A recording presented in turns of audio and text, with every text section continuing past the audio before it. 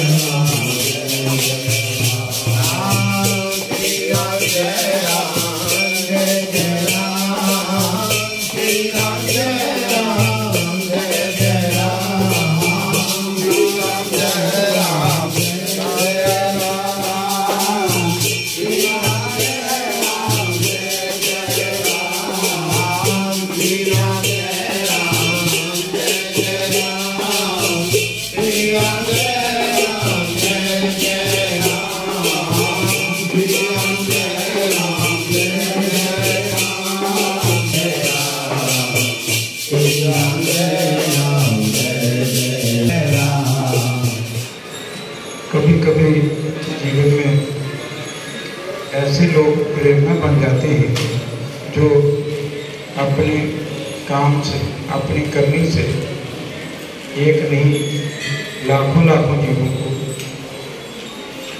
गौ सेवा, भगवत सेवा, भगवान नाम गुणगान समाज सेवा भी हैं कहीं पर भी अच्छी संस्था, अच्छे लोग आगे आते हैं तो चमत्कारी काम हो जाते हैं। असंभव भी संभव हो जाता है। पंचवटी गौशाला, जलंधर की एक प्रेरणादायी गौशाला है। जहाँ दूसरों को प्रेरणा मिले कुछ अच्छा करने की गौ सेवा करने की। वो हमारे पंचवटी गौशाला के सभी से श्री लक्ष्मण मल्होत्रा जी, उनके साथ जितने भी जलंधर महानगर इस कमेटी के जितने भी गौ माता के सेवक हैं, हम गौ सेवा करके कोई आसान नहीं करते। गाय हमारी माता है जन्म जन्म का रहता है। जिसने अपनी माँ की सेवा नहीं करी है, माँ के उस दूध का ऋण नहीं उतारा है तो उसको कृतघन कहा